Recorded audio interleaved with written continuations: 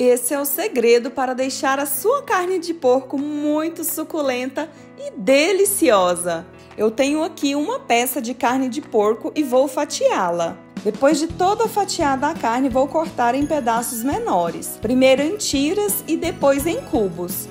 E essa receita é maravilhosa, gente, não sobra nada.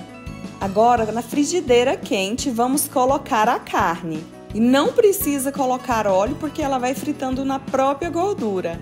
Essa receita é muito especial. Minha família sempre me pede para fazer ela. E vou fritando e mexendo de vez em quando, até que ela fique bem douradinha dessa forma.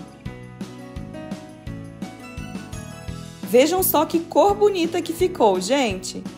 Nesse momento, vamos retirar a carne da panela e reservar. E na mesma panela, vamos adicionar uma cebola cortada, também três dentes de alho cortadinhos e vamos mexendo aqui. Vou deixar fritar por dois minutos. Quando a cebola e o alho já estiver assim, podemos retornar a carne. E agora vamos mexendo enquanto a cebola vai fritando mais um pouco e agregando sabor à carne. Deixei fritando aqui por 5 minutinhos. E a seguir vamos adicionar tempero e mais sabor a essa carne. Adicione 3 colheres de sopa de molho de soja.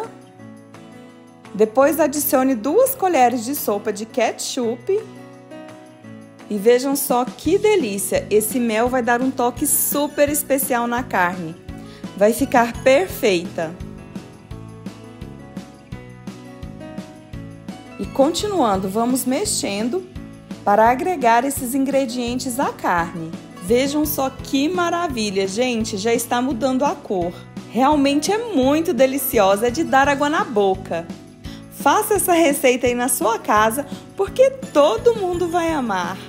E para dar mais sabor, vamos colocar salsa e cebolinha cortadinha a gosto. E vamos mexer. Essa carne fica muito bonita, além de deliciosa, é claro. Agora é só servir esse espetáculo, gente. Olha isso! Essa receita é muito especial. E você pode fazer um purê de batatas para acompanhar, que vai ficar perfeito. Aqui em casa, todo mundo gosta de comer essa carne com salada e purê de batatas.